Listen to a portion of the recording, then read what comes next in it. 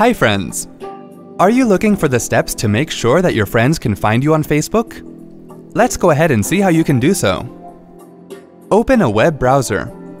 Type www.facebook.com in the address bar and then press the Enter key to open the Facebook web page.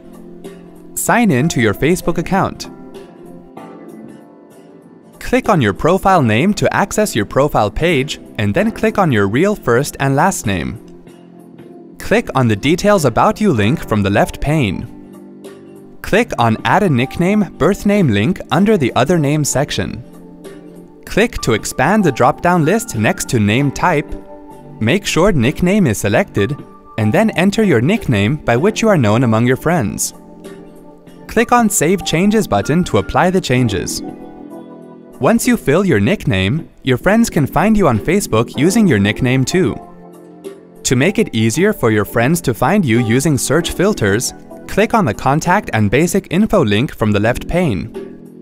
Click on Add a mobile phone under the Contact Information section. Enter your mobile phone number, click on Save Changes, enter your password to confirm, and click on Submit.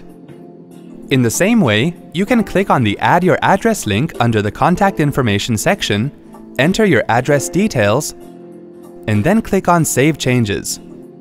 If you wish, you can also add your website by clicking on Add a Website link under Contact Information section. Enter your website address in the website box and then click on Save Changes to apply the changes. Hope this was easy to follow. Thanks for watching. To check out more related tech videos, click here. If you have any query or want to share something with us, click here. To get iYogi tech support, dial toll-free numbers. To stay empowered technically, subscribe to our channel.